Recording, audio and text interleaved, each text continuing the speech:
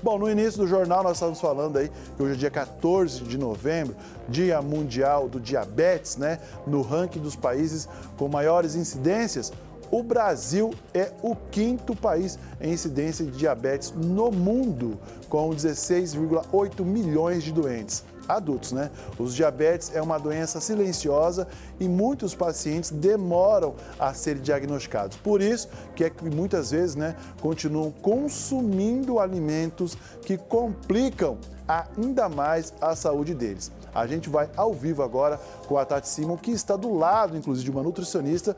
Bom dia, Tati. É possível prevenir aí a diabetes?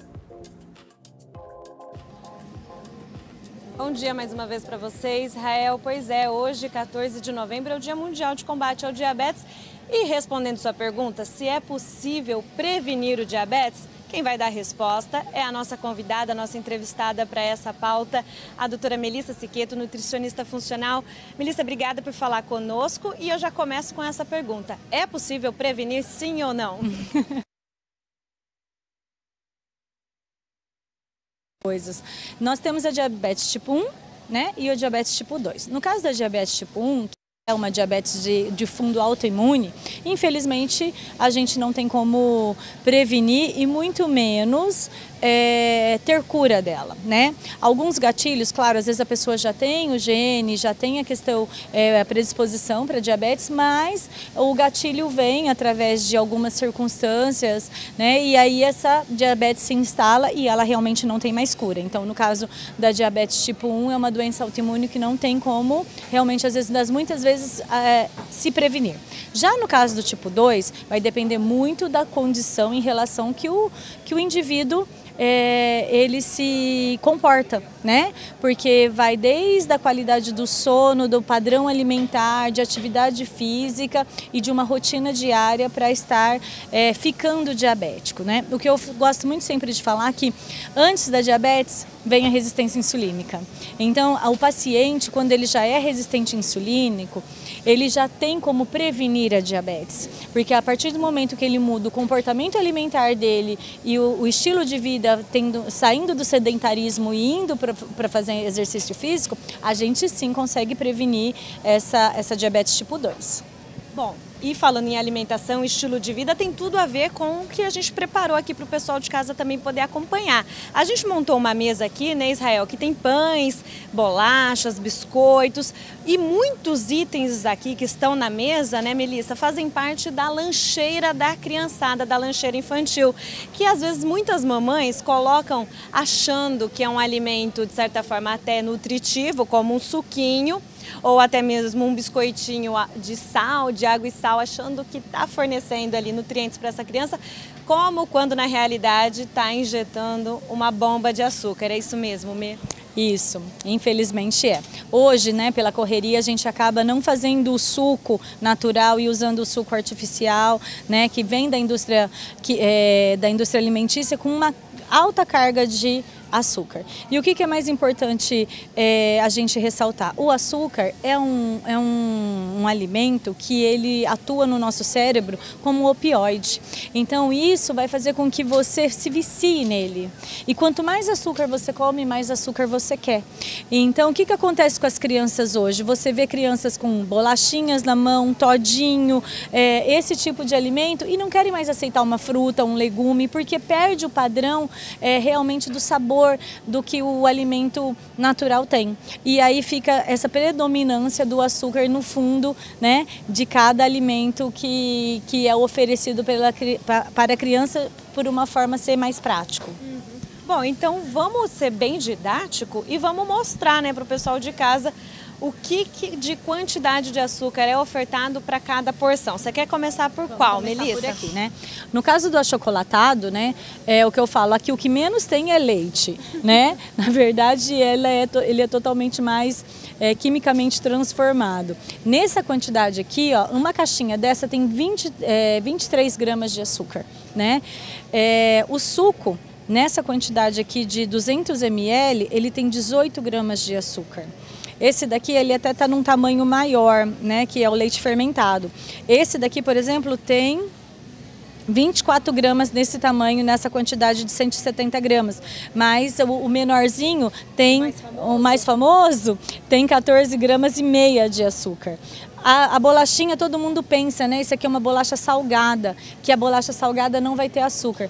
A crocância do alimento vem através da gordura saturada, ruim, e da gordura trans e da do açúcar, né, da adição do açúcar. Então, todo mundo acha que está consumindo um alimento salgado, mas na verdade está em quantidade grande. Um pacotinho desse daqui com três, com três bolachinhas, ele tem 100 gramas de açúcar. Então é muita coisa para quem está achando que está se alimentando de algo salgado, né? E só te interrompendo aí nessa listagem, Melissa, é curioso porque eu fui buscar na prateleira de produtos fitness, tanto esse salgado quanto a outra bolachinha de aveia, cacau o consumidor até fica confuso, né? Sim, fica muito confuso. É uma apelação por essa, por essa questão do fit, do light, do diet. Então, o que eu falo assim, a gente precisa saber ler rótulo. Né? A partir do momento que você aprende a ler os rótulos, você vai identificar o que você está consumindo. Uma bolachinha dessa aqui é que está como Nesfit, com, tem até um pouquinho de, de, de, fibra, porém ela tem 140 gramas de açúcar em 100 gramas. Passa mais açúcar do que quantidade de peso realmente, né? E a famosa bolachinha, né, de, de maisena que você vê crianças, bebês iniciando, né, a sua é, a sua alimentação e às vezes com esse tipo de de alimento e também riquíssimo, 38 gramas de açúcar para cada 10 bolachinhas. Então é um consumo muito grande e isso impacta diretamente na, na saúde da criança, dos adolescentes, enfim. São os açúcares disfarçados nos alimentos que desde a infância podem promover a obesidade infantil e até mesmo doenças que são preveníveis como diabetes tipo 2. Sim, exatamente, porque é, a, a, qualidade e o comportamento alimentar da criança é que vai estar tá com, um, com o passar dos anos trazendo essas patologias que vão impactar talvez para o resto da vida das crianças. Certo, Melissa, obrigada pelas suas informações. E olha, Israel, você começou falando que hoje no Brasil são mais de 16 milhões de adultos convivendo com os vários tipos de diabetes que existem, mas uma projeção é de que até 2030, e não está tão distante assim, chega a 21 milhões e meio de adultos convivendo com diabetes. Aqui em Três Lagoas, dados do programa do Hiperdia pelo governo municipal, da nossa cidade apontam que são mais de 4.600 moradores inscritos no Hiperdia somente por conta do diabetes. E a gente vê né, que na rotina alimentar dá sim para se prevenir. Israel, você tem alguma dúvida daí? Sim, Tati, eu tenho que aproveitar, né, agradecer aí a presença da nutricionista e fazer a seguinte pergunta. É claro que nem todos os dias vai dar para pegar embalagem por embalagem para ler ali o rótulo. Existe algum nível é, saudável para consumir esses produtos para que não possa impactar tanto na saúde da criança? Certo, vou levar sua pergunta para ela. Melissa, o Israel lá do estúdio perguntou o seguinte: é claro que ler a rotulagem dos alimentos é o dever de casa de todo consumidor, especialmente as mamães ao colocar o produto no carrinho.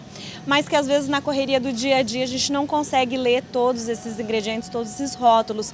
Existe aí uma quantidade que seria um nível ideal que a gente poderia consumir que ainda está numa margem de satisfação com relação aos açúcares? Isso é muito individual, né? Em relação à individualidade bioquímica. Então, o que, que a gente tem que parte do princípio que nós precisamos ter uma alimentação o mais saudável possível e o mínimo possível de açúcar e o mínimo possível de industrializados, né? Então não dá para saber o que, que seria, porque a diferença talvez para mim que impactaria na minha glicemia vai ser diferente da sua. Então realmente a gente tem que faz, saber fazer as melhores escolhas, né? E partir para tudo que a natureza nos dá, porque a natureza é perfeita. É, a qualidade alimentar, vitaminas e minerais vêm de acordo com as cores dos alimentos. Então a gente fazer essa escolha sempre sempre é a, a melhor opção e sempre não abusar, né? E estar tá sempre atento à questão dos marcadores. É, do, dos exames laboratoriais para a gente estar tá sabendo realmente como anda a nossa saúde. Então, com essa desculpa de que na correria ali na prateleira do supermercado é mais fácil então ir para o setor de hortifruti e selecionar ali uma meia dúzia de fruta? Com certeza, com certeza é sempre a melhor opção. Tá certo, Melissa. Agora sim, respondido, Israel. Mais alguma dúvida sua ou de Mari Verdun?